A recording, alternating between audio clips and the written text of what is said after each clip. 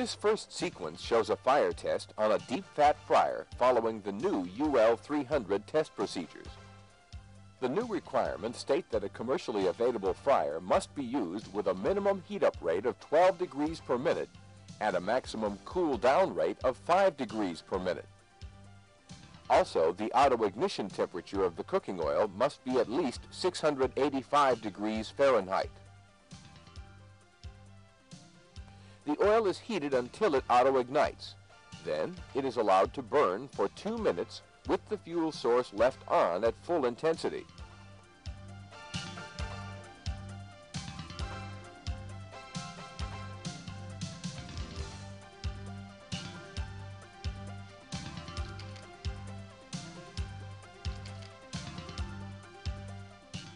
During the second minute of pre-burn, the flame gains intensity and increases in height until it actually surrounds the discharge nozzle.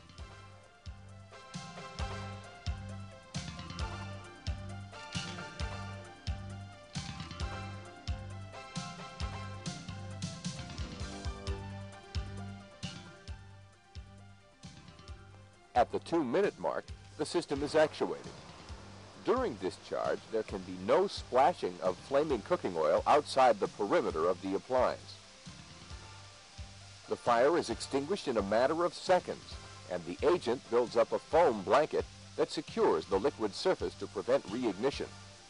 The foam blanket must secure the fire for at least 20 minutes according to the new standard.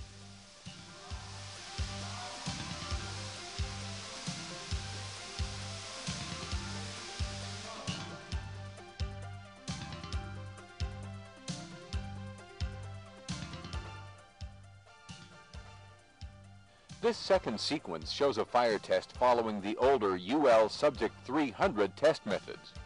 This less stringent test allows the use of mock-up appliances with no specified heat-up rates. And because the mock-up appliances are not insulated, they cool down very rapidly. Also, the required minimum auto-ignition temperature of the cooking oil is 650 degrees Fahrenheit versus 685 with the new standard. And unlike the new UL test, the fuel source is immediately shut off after the fire ignites and the pre-burn is only one minute.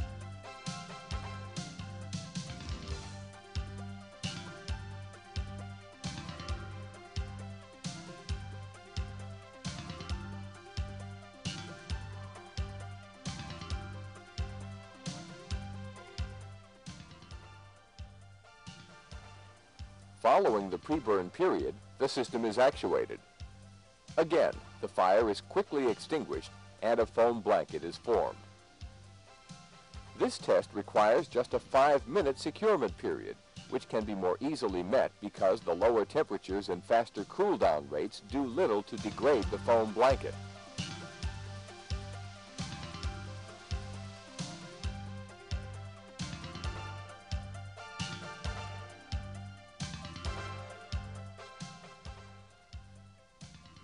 This third sequence shows both fire tests simultaneously. Again, you'll be able to clearly see the significant differences in pre-burn time and flame intensity between the more stringent UL 300 test on the left and the previous test method as shown on the upper right.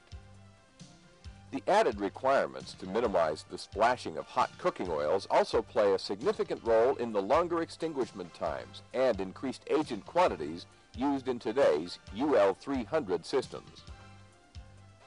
The new UL 300 standard is clearly a more stringent test, which more closely simulates real-world conditions, not only as shown in these fire tests, but in the testing of woks, griddles, ranges, charbroilers, and various other appliances.